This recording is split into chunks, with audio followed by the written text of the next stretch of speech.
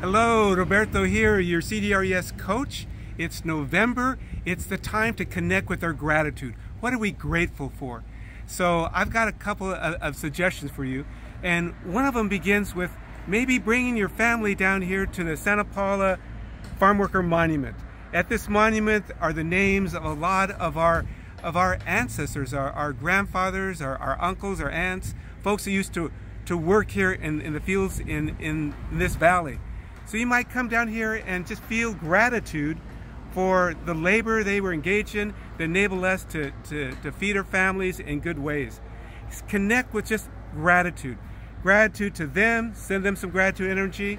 Also maybe think, what, what am I grateful for?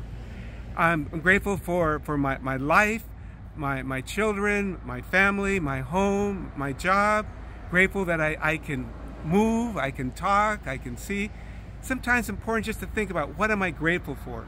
And also ideal time to bring your family together at some point to give everyone an opportunity to, to express what they're grateful for. Let, let, it, let us hear those gratitudes because often it's about actually the love that we have for each other. So again, November, time for, for gratitude, connect with what you feel, feel what you're thankful for, encourage others, and take in that good love energy and spread it out. Until next time.